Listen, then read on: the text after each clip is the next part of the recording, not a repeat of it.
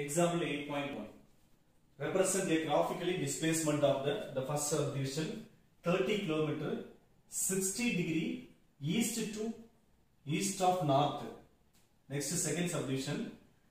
This one 60 degree 60 kilometer 50 degree south of east. So graphically represent the, this data. So first of all the first subdivision the first subdivision 30 kilometer 60 degree west of north.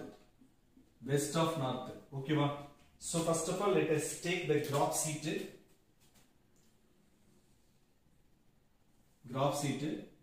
So this one north this one south this one east next to this one west.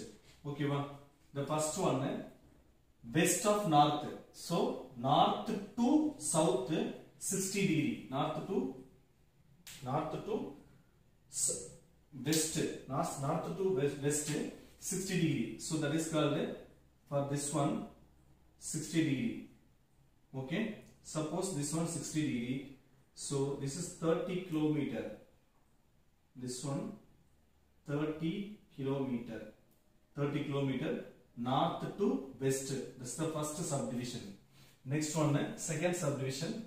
Second subdivision means 60 kilometer 50 degree south of east. South of east. So the graph sheet is this one x axis y axis x axis.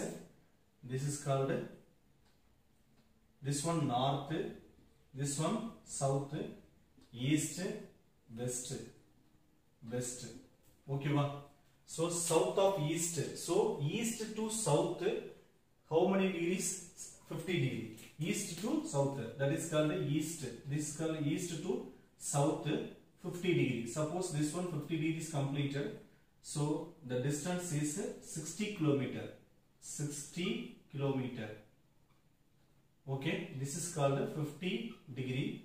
This is called 60 degree. That is the graphically denoted by the displacement. Graphically denoted by the displacement that's all part okay